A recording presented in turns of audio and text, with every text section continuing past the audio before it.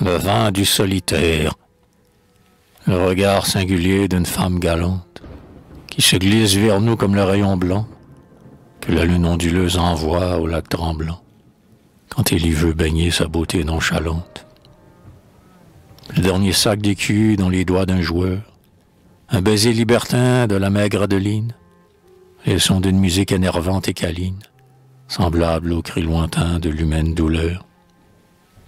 Tout cela ne vaut pas, aux bouteilles profondes, les bombes pénétrants que ta panse féconde garde au cœur altéré du poète pieux.